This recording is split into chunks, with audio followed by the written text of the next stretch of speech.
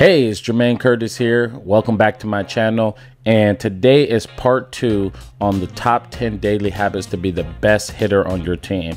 I hope you like it so far. I thought it was a cool concept and I wanted to share with you what separates players from other players. So if you follow the strategy and follow the things that I'm sharing with you, you are definitely going to pass your peers. Okay.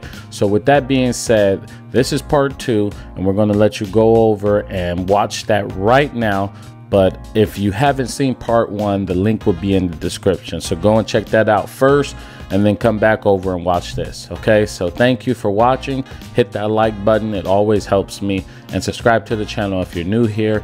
Thank you so much and I'll see you at the end of this video. So number four, the next one is practice hitting 30 minutes extra a day. I know I haven't brought up hitting stuff, right? I haven't told you what you should do as far as hitting and all that because I would assume you're hitting every day. And if you're not hitting every day, you should be hitting every day because the only way to perfect your craft is to hit consistently as often as you can. And I understand you might be in Rochester, New York or some place where it's snowing and you can't get out, but you could do some things at home, wrap a sock up and, you know, throw with your little brother or sister or have your mom or dad flip you it. You know, I used to do those things inside the house. It was just something that just kept me in my swing. So you want to practice hitting at least 30 minutes extra per day. Um, every day when I had practice, I would go to the backyard when I was in high school and travel ball and, you know, that age um, I would go to the backyard. I had a tee and I would hit, you know, I would go to right center. I'll say 50 swings to right center, 50 swings to center field, and 50 swings to left center. And that was what I did. I did that consistently every single day. And that allowed me to hit more extra base hits, be a top of the lineup hitter. And it was just extra work. The saying goes, Rome wasn't built in a day. And you're right, Rome was not built in a day, but they laid bricks every hour of that day. So you got to take those steps to build Rome.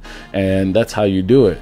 You practice and then you go and then you hit off the tee and you consistently do that or you consistently go to the cage and you keep working all you have to do is put a little bit in each every day you got to think about it most kids don't even hit three times a week so if you're hitting you know five six times a week imagine how much far ahead you're going to be. Like hitting and all this is just math. They asked me when I was younger, how did you learn how to do what you do? I was like, it's just math. I was just hitting when other people weren't.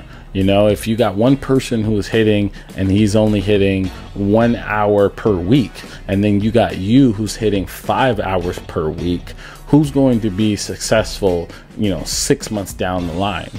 And you already know the answer to that. The kid that is getting the five hours per week he's you know he's 5xing that other kid. So he's learning way more. He just keeps going deeper deeper and learning how to move his body what he should be doing. And that's how he's getting that success it's because he's earned it. He's earned the success you know? Um, and that's the difference between you know i'm right now i'm in rochester new york and I grew up in California. In California, we only got rain for like three weeks out of the year. So all year, I was taking swings. I was playing in travel ball tournaments. I was um, doing showcases. I was always taking at bats. So as a young player, I was taking, let's say, 300, 400 bats per year. Well, out here, they're only getting you know 90 AB. So I'm like, man, they're far behind because uh, they're just location. So what we do, we started giving them more live at bats so that they'll be getting better and better. So now in off season, we still have pitchers throw against these hitters so that they can start catching up. They start learning oh, what I need to do. So the reason why they're behind is because they just don't get the reps of live pitching because it's snowing during the winter. Well, we changed that. Now we have guys throwing to them. We're playing games. We're, you know, giving them live at bats so that they, when the season starts, they've already had 150, 200 at bats before that. So now they're on track so that they can get drafted or play in college one day. So the next one is a hack and it's number three and it's create positive reinforcement. Um, this is something that I've learned later in my career, but I think it'll help you if you're younger. Um, you see all the players who are you know, at the MLB level. And what they do is when they hit a double, they're going, you know, like this on second base, or you see the kids, they're doing stuff like they're clapping their hands or whatever they're doing at second base to acknowledge to their dugout that they, you know, are the man because they hit that double. Well, I'm telling you to create something for yourself. You know, for example, what I would do is I called it the monkey dance or the nene, and I would go, yeah, I would do that every time I would get a hit or doubles and I would point to the dugout and I would do that. And my team, you know, at the professional level, it's a gentleman sport. You don't really showboat as much. Um, in my organization, they didn't want that. And I was like, man, forget it. I'm just going to do it because I need to bring the fun back to the game. So every time I hit a double, I'll just go bam. I'll start like mess, you know, dancing and, you know, not too much, but just going like this to my dugout. And then I start doing like this. And my team, they started to catch on to what I was doing. And every time I got up to a batter's box, my whole team would be at the front um, of the bat of the front of the fence, waiting for me to get a hit. So what did that want? What did that make me do? I wanted to get more hits. So I went from batting like two when I started this, I was batting like 220 and I raised it to 290 within a week and a half. Just from doing that, I started having dreams of getting that hit and doing with my duck, you know, playing with my teammates and dancing in the uh, on the base or whatever. Cause my whole team would start doing it too. They were all like, hey, hey, hey, hey, and they started going like that, and it became fun. So I'm telling you, create something for you and your team, and it's positive reinforcement. That's something that you want to do consistently over and over and over. Um, and you'll start having dreams about getting hits. You'll want it so much because your whole team's involved and it's fun and exciting. And literally, that's how I just I jumped my average, went from like two 220, 230 to like 290 in like a week and a half. I started hitting more doubles, hitting more homers. I just wanted to be on base because my whole team was waiting for me, and it was just so much fun. So something that that you could do. It's a hack and uh, I think it's going to help you a ton. So that's number three. Number two is know your strengths and weaknesses. I think as players, especially young players, you guys don't know your strengths nor you know your weaknesses. So know your strengths and weaknesses. I have a book that I give out to all the kids that I work with, and I'll put that book out here. Um, I'm going to release it soon so that you'll be able to to get it if you want it for free. But um, it's a book that helps players learn their strengths and weaknesses. I started to use this book and it helped me so much in my career. And so I'm all about it. And basically, um, when you know your strengths, you can play to your strengths and go around your weaknesses and still, you know, you can improve your weaknesses for sure, but you can, you need to know your strengths. When you know your strengths, you go up there and play to it every single day.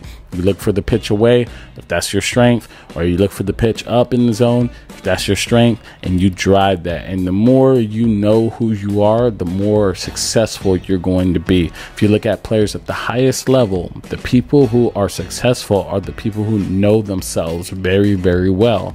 And the people who aren't successful, they don't know themselves or they lost who they are they lost what they do well. So you want to know your strengths and you want to know your weaknesses. Okay, so that's going to help you a ton in your game. And uh, if if you don't know right now, you, you got to definitely work on this. This is how you separate yourself. And number one, create a mission statement. A mission statement is your purpose every single day. And what you're going to do is you're going to read that three times per day. So right when I would wake up, I would have my mission statement. It would be an audio that I I first wrote it all out and then I recorded it and then I would listen to it. So I would wake up, I'll listen to it. Midday, I would listen to it, and I would read it. And then right before going to sleep, I listened to it and I would read it. And the mission statement was something like, "I am the best player on my team. I am the best hitter on my team.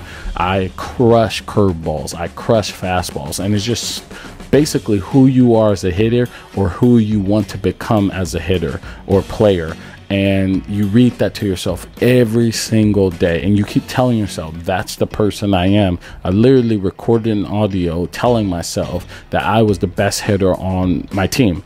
And so I would say, yes, that's who I am. I am the best hitter on my team. And I would listen to myself say it and I would nod my head say, yes, I am. And I would listen to it over and over and over and uh, it becomes who you are as an athlete and that's the mental game because you become a strong mind. You're telling yourself you are the man. You're conquering that little guy in your head that is probably trying to tell you that you're not good enough. You're you know you're not going to be successful. So how do you conquer that guy? By creating that mission statement um, and this is the secret of all secrets. So if you, this is right here what you need to take from this that's number one.